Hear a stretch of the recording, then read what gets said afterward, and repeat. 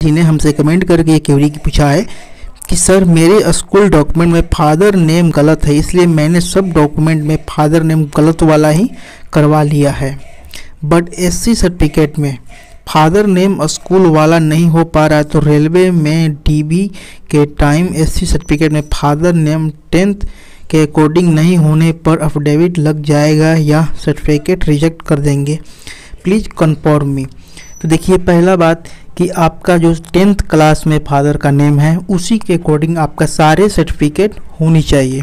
इससे मतलब नहीं है कि जैसे कि आप यार यहाँ पर मेंशन किया है कि मेरा फादर का नाम गलत है। फादर का नेम आपके अकॉर्डिंग गलत है, लेकिन आपके टेंथ में जैसा है, वही सही है और उसी के अकॉर्डिंग आपके सारा सर्टिफिकेट होनी चाहिए।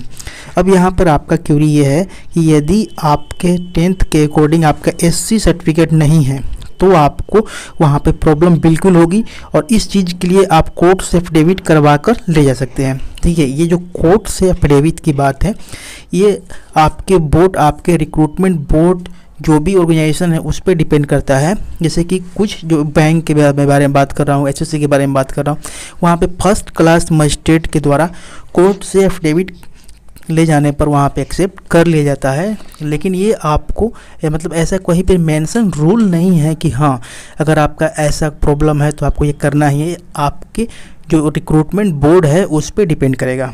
तो आपको क्या करना चाहिए? सबसे पहले तो आपको जितना जल्दी हो, अपने टेंथ के मार्कशीट के अकॉर्डिंग एससी सर्टिफिकेट बनवाना चाहिए। उसके बाद यदि आपका जैसे कि आपने बताया कि आपका रेलवे के डीवी में जो पहले से आपका एसी सर्टिफिकेट बना है तो उसी के आधार पर आप एक कोर्ट से फ़र्स्ट क्लास मजिस्ट्रेट से अफिडेविट करवा कर डी में ले जाइए तो वहाँ पर आपको चांसेस है कि वहाँ पर एक्सेप्ट कर लिया जाएगा। Thanks for watching this video